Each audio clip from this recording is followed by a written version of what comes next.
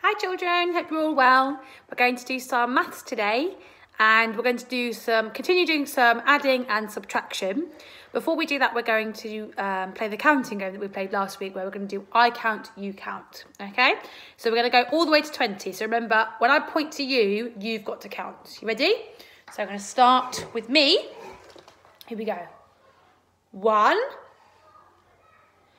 three, five,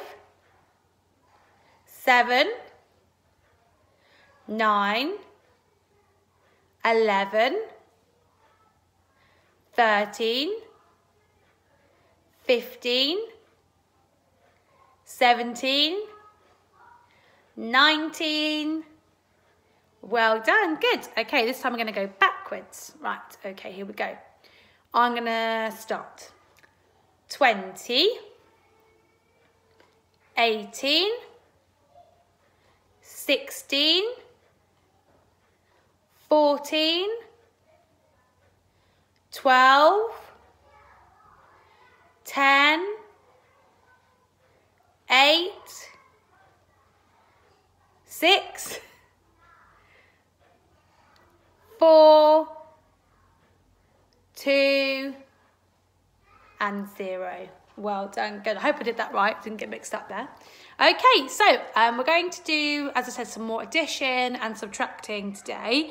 Um, some of these questions are going to be um, word problems that we had last week, and some of them are just going to be um, sort of the, the written sums. So you're going to have to answer this, the number sentences. So um, we're going to, in school, use Numicon to help us this week with answering the questions. And um, I'm going to attach the Numicon uh, pictures again for you to do, uh, to print off if you can, um, or you can draw your own, okay? So I'm just going to show you some examples of how we can use the Numicon and then I'll upload the sheet for you to, to do at home. Okay, bear with me. Just get my board.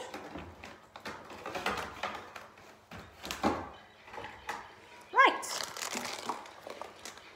So, if the first question was 10 add 2 equals. That's our first question. So this one isn't a um, this one isn't a word problem. This one is a number sentence. So 10 adds 2. So I'm going to get my Numicon now. And I'm going to get the two pieces, 10 and 2. So some of you might know the answer already. Some of you might know what that is. Okay. If you don't, what we're going to do, we can count them. Now, I'm not going to start counting from down here because I know that this is 10. So I already know what the biggest number in the number sentence is. It's 10. So we've got 10, 11, 12. So we've got 10 add 2, 10 add 2 equals 12. Well done. So that's a way that we can work that out using the Numicon. Okay, let's do another number sentence. This time we're going to do a subtract question. Okay, so I've got 15 take away 5 equals 15 take away 5. Okay, so this time I'm going to make 15.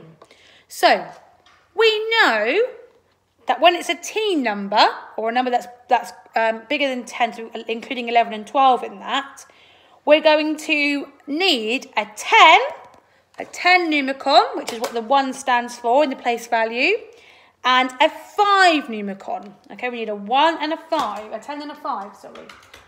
So we've got our 10 and our 5. Okay. So that's our numicon there. That's We're going to pretend they're kind of stuck together now we are taking away a 5. Okay, there's two ways we could do this. Okay, now we've already got two pieces, even though we're pretending they're stuck together. I know that this is a 5, so I can take that off. And what am I left with? 10. Well done. So we know that 15 take away 10, take away 5 is 10.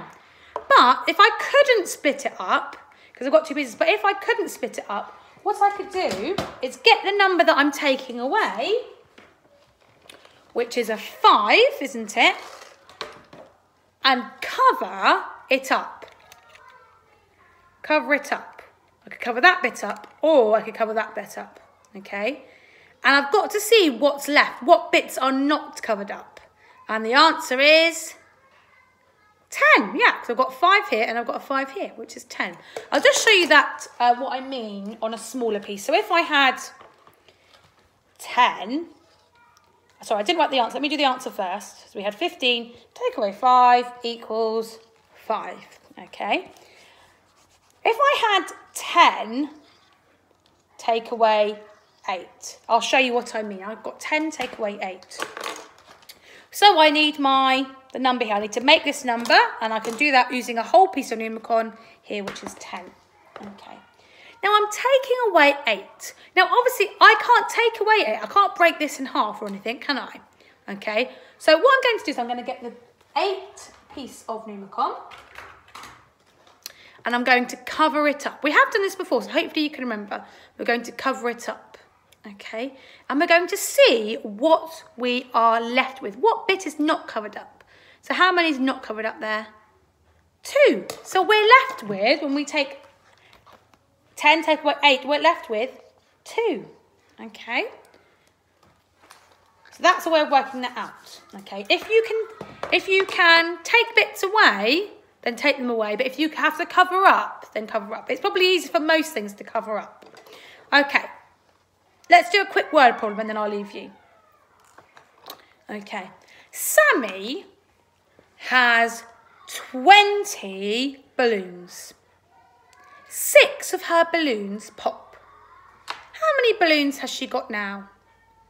So we're going to put that now into a number sentence. Sammy has 20 balloons. Six of those balloons pop. How many balloons is she left with now? So we can use our Numicon to work that out. So we've got 20.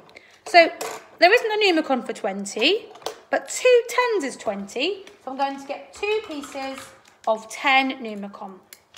Okay. So I've got two pieces. I've got 20 now. I've made 20. Now I can't take six away by splitting it up. If I take that off away, then it's not. It, then it's it. That's too many, isn't it? So I'm going to have to cover up. So I need to get six to cover up. So I need a Numicon for six, um, which is where are my sixes? Sorry, they hiding. There we go. I need a six. So I'm going to cover this up now. And I'm going to see what I've got left. What bits can't I cover? So I don't need to count all of the holes because I know that this one's 10 and I've got definitely got 10 left. So I'm going to start with 10, 11, 12, 13, 14. So I've got 14 left. So 20 take away 6 is 14. Sammy has 14 balloons left. Okay. So as I said, you've got some problems now. You've got some questions. Some of them are um, number sentences and some of them are um, word problems. So you can work those out. I will attach the Numicon for you to use. Um, so you can print that off or you can draw your own if you haven't got a printer at home. Okay? And don't forget to upload it so I can see how you do. All right then.